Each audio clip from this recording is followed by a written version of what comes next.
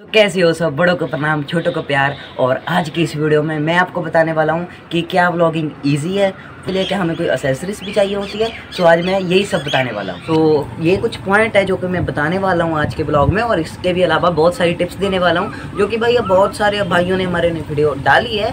But भाई, वो जो चीज़ें भाई फेस नहीं की, जो मैंने की है सो मैं आपको अपने एक्सपीरियंस से बताने वाला हूँ। तो चलिए वीडियो को शुरू करते हैं। भाई, पहला जो पॉइंट है, वो है बी रियल आपने बहुत सारे बड़े क्रिएटर्स देखे होंगे, जो कि भाई अपना बहुत सारा यूनिक स्टाइल्स लेके चलते हैं. अगर आप उनको कॉपी करोगे तो भाई आपका ब्लॉग अच्छा नहीं लगेगा, क्योंकि भाई व्यूवर्स को पहले ही पता है कि आपने उनको कॉपी किया, और वैसे भी कॉपी करना बुरी बात होती है. इसीलिए अपना रो रियल रहो मतलब किसी की कोई कॉपी नहीं करनी. दूसरा पॉइंट है, वो है music according to the video मतलब आपको भाई अपना जो म्यूज़िक लगाना है हाँ वो ज़रूरी तो होता है बट पहली बात आपको चेक करना है कि आपका म्यूज़िक कॉपीराइट वाला ना हो और कॉपीराइट फ्री हो आपको म्यूज़िक देखना है और भाई लगाना है तो अपने व्लॉग के हिसाब से लगाओ। अगर आपको इन्जॉयमेंट वाला व्लॉग है तो भाई आप उसके अकॉर्डिंग लगाओगे। अगर आपने भाई इंजॉयमेंट वाला म्यूज़िक अपने मतलब स्पिरिचुअल वाले ब्लॉग में डाल दिया तो वो मैच नहीं करता सो वो प्रोफेशनल नहीं लगता। इसीलिए आपको अपने म्यूज़िक को ब्लॉग के अकॉर्डिंग लगाना है। भाई, अगला जो पॉइंट है, वो है बी रेडी फॉर कमेंट्री भाई, अब कहीं पर भी जाते हो सो वहाँ पर बहुत सारे सीन होते हैं सो हमें हर वक्त रेडी रहना पड़ेगा ताकि हम उस चीज़ के ऊपर भाई कमेंट कर सकें, नहीं तो घर बैठ के वॉइस ओवर तो भाई आप कोई भी कर सकते हो बट वो व्लॉग में भाई वो मज़ा नहीं रहता। पॉइंट है, वो है कंटिन्यू द वाइब भाई, आपकी ब्लॉग की वाइब नहीं टूटनी चाहिए। अगर आपने एक बार भी भाई वाइब तोड़ दी तो भाई आपका व्यूवर गया। बिकॉज़ वाइब इतनी इंपॉर्टेंट होती है। अगर भाई आप कोई मतलब सीन कर रहे हो और अचानक आप उसकी वाइब ही बदल दो और भाई आप और ही कुछ दिखाने लग पड़ो, भाई वो इतना मतलब अनोइंग सा लगता है ना कि भाई ब्लॉग अच्छा ही नहीं लगता। इसलिए वाइब अपनी हमेशा कंटिन्यू रखना। पल अभी आप कहीं पर जा रहे हो और आपने बोला, गाइस, हम वहाँ पर जाने वाले हैं। और उसके बाद सीधा अगला शॉट आता है जहाँ पर, गाइस, हम वहाँ पर पहुँच गए हैं। तो भाई, वो बिल्कुल भी प्रोफेशनल लिखता और वैसे भी भाई, वो वाई भी नहीं बनती। अगर आप बोलते हो कि हम वहाँ पर जा रहे हैं तो पहले आप अपने रास्ते के कुछ सिनेमेटिक सीन्स दिखाओ। उसके बाद आपने भाई, अपने रास्ते में क्या इन्जॉय किया, वो दिखाओ। उसके बाद भाई, जगह पे पहुँचो। इसका मतलब ये भी नहीं है कि आप पूरे ब्लॉग में भाई, आप आने जाने वाला मतलब शॉर्ट कर दो लिमिट के अकॉर्डिंग अगला जो पॉइंट है, वो है बी कॉन्फिडेंट भाई, अगर आप कहीं पर भी जाके व्लॉग कर रहे हो और आपको चार पाँच लोग खड़े होकर देख रहे हैं, जब भाई कमेंट्री भी कर रहे हैं आपके ऊपर, भाई, आपको उसके ऊपर फ़र्क नहीं पड़ना चाहिए बिकॉज़ आप अपनी जॉब कर रहे हो और अगर आप अपनी जॉब कर रहे होगे तो आपको फ़र्क नहीं पड़ता कोई कौन, क्या ही बोले। भाई, उसके बोलने से आपके ब्लॉग को कोई फ़ायदा नहीं होगा, बस आपका ब्लॉग ख़राब होगा। इसीलिए आपको अपने कैमरे के ऊपर बिल्कुल भाई आई कॉन्टैक्ट रखना है और बस फिर अपना ब्लॉग बनाई जाना है। भाई, अभी मैं आपको बताने वाला हूँ वट नॉट टू डू भाई। बहुत से क्रिएटर्स भाई ये कुछ गलतियाँ करते हैं जो मैं बताने वाला हूँ, जिसके साथ भाई आपका चैनल सीधा मोनिटाइज ही नहीं होगा।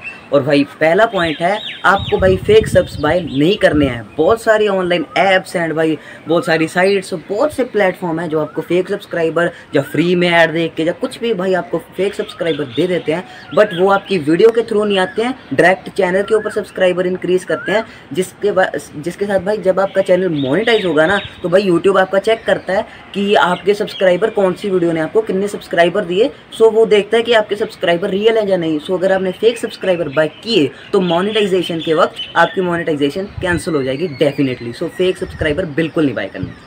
अगला जो पॉइंट है वो है एक्स्ट्रा मीम्स भाई मैंने कुछ क्रिएटर्स देखे हैं जो कि भाई अपने मतलब वीडियो में या व्लॉग में बहुत भाई एक्स्ट्रा ही मीम ऐड कर देते हैं, जिसके साथ भाई वो अच्छा ही नहीं लगता। अभी आप भाई ब्लॉग कोई इमोशनल या फिर दूसरा बना रहे हो और मीम उस पर गेमिंग वाले लगा रहे हो। सो भाई क्या है? इसलिए आपको मीम्स एक्स्ट्रा नहीं यूज़ करने हैं। कुछ हाँ व्लॉगिंग के लिए यूज़ हो सकते हैं, उनको ही यूज़ करना है। अगला जो पॉइंट है, आपको अपने स्टार्टअप में भाई बहुत ज़्यादा अपने आप पे पैसे नहीं लगाने हैं, वो अपने फ्यूचर के लिए रखो। आपको भाई ये ना हो कि आपने एक नया चैनल शुरू किया और आपने भाई ट्राईपोड माइक ड्रोन और भाई नया फ़ोन सब खरीद लिया इसकी कोई इन सभी की कोई ज़रूरत नहीं है। आपको बस अपने पुराने फ़ोन से स्टार्ट करना है। अगर आपके पास ज़्यादा पैसे हैं या फिर आप चाहते हो सो आप एक माइक और एक ट्राईपोड ले सकते हो। अगला जो पॉइंट है, वो है don't delete your any video भाई। अगर आपको पता लगा कि आपका कोई ब्लॉग अच्छा नहीं है, जो आपको पसंद नहीं आया सो भाई मोस्ट ऑफ़ द क्रिएटर्स ऐसा करते हैं कि भाई वो उस ब्लॉग को डिलीट कर देते हैं।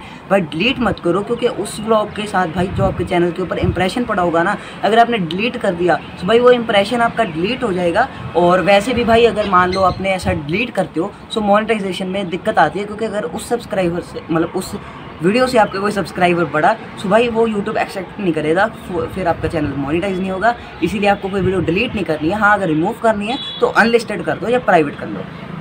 और भाई अगला जो पॉइंट है वो है कि आपको ध्यान रखना है कि आप भाई क्या शूट कर रहे हो। अगर आप अपने भाई वीडियो में ब्लड वगैरह कोई वॉयलेंट एक्शन या ऐसे ही कुछ भाई शूट कर लेते हो जो कि यूट्यूब गाइडलाइंस के अगेंस्ट है सो यूट्यूब आपके चैनल के ऊपर स्ट्राइक मारेगा और तीन स्ट्राइक के बाद आपका channel bye bye tata good bye इसलिए आपको कुछ भी भाई शूट करना है सो आपको ध्यान रखना है कि आप क्या रिकॉर्ड कर रहे हो।